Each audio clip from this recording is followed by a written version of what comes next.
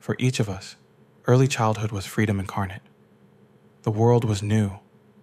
There was so much to be explored, so much within us to express, so much energy within us to unleash. Then, not long after, everything went wrong. With each child that is born in this world, as he emerges from young childhood, everything will go wrong. It matters not if he is born into a healthy family, an unhealthy family, a religious family, or a non religious family. The only way that it may not go wrong is if he is raised by lions or wolves. Then he has a chance. There isn't the slightest exaggeration in what I have just written. A human being's life is a mess.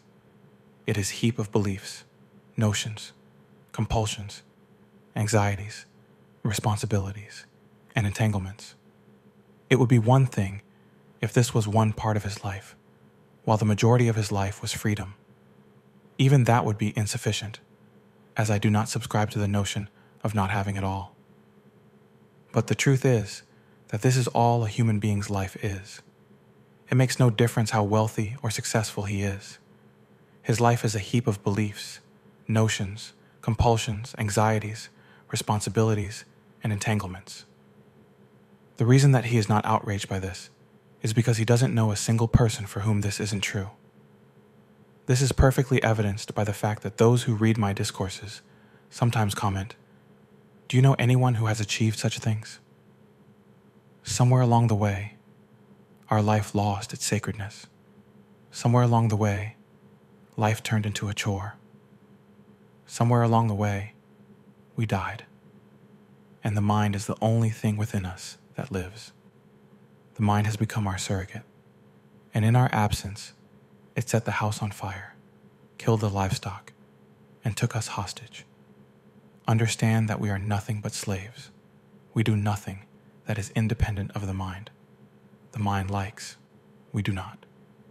The mind hates, we do not. Foolish people picket in the street against governments and financial institutions, demanding freedom, when it is the mind that is picketing all along. If they were wise, they would picket against their own mind, for it is the most ruthless slave master the world has ever known. It controls our sleep, it controls our every waking moment. It infiltrates our dreams. I have never in all my life seen a free human being. And I will not tell you that I insist upon becoming free, that I won't take it anymore, and such things like that, because that would be motivational. And if I allow myself to become motivational, I become taken by the motivation and lose sight of the freedom that I am creating for myself. Cleverness and insincerity are loud. Seriousness is quiet. Seriousness is a product of life shaking realizations. When one sees that his entire life is on fire, he begins to truly see. All that was once pomp and motivation disappears, and all that is genuine and emergent within him comes to the surface. Is the sky falling? Dear friend, the sky fell a long time ago. It fell while we were asleep and we have been asleep for eons. When we emerge from slumber, we see the shards of glass, the shrapnel, the smoke, the devastation and destruction, the complete and utter absence of freedom. Domestic life is nothing but an endless series of chores. It is an endless exercise in damage control. It is akin to the cartoons we watched as children. The character would plug one leak with his hand, then another would sprout and he would plug that one with his other hand. Then another leak, and he would plug that with his foot.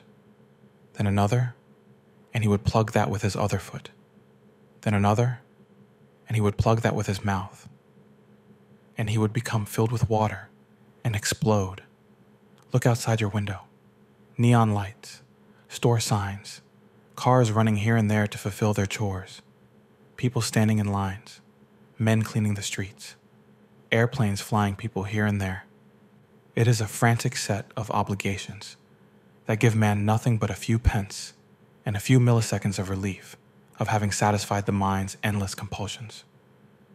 From around the world, I receive letters, postcards, emails, and Twitter messages, asking me how to be more happy and free, asking my advice about relationships, performance, success, peace, and concentration.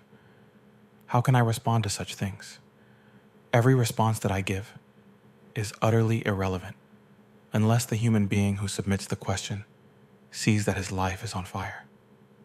Once he sees the devastation, once he sees it from his heart, the quality of the questions change. It is only once he rises in the field of devastation that he stands any chance.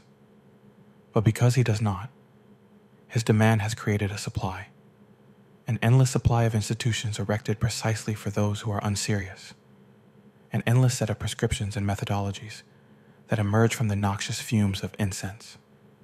Meditation, gurus, chanting, mindfulness, silent retreats, meditation retreats, yoga classes, breathing routines, morning rituals, spiritual books and scriptures, motivational speeches, psychotherapy, anxiety and depression medications, and so on.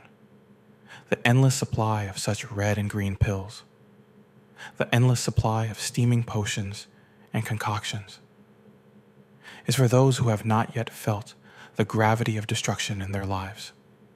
It is for those who seek to trade one type of enslavement for another. Instead of untangling the yarn, they seek solace in yarn of a different color. I received a lovely question on Twitter yesterday asking me how I define freedom. Freedom is freedom from anxiety, freedom from all conflicts, freedom from involuntary thought, freedom from compulsion, freedom from every sort of need, freedom from emotional turmoil, freedom from a roller coaster existence. This makes a human untouchable by anything. His days are no longer about hope, ups and downs, goods and bads, emotional upheavals. Every day is pure freedom the freedom to roam under blue skies as the eagles do. I often watch the eagles.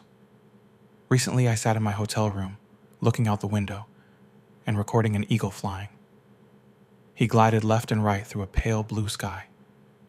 He had nowhere to go, because somewhere inside of him, he was fully invested with the understanding that he had already arrived.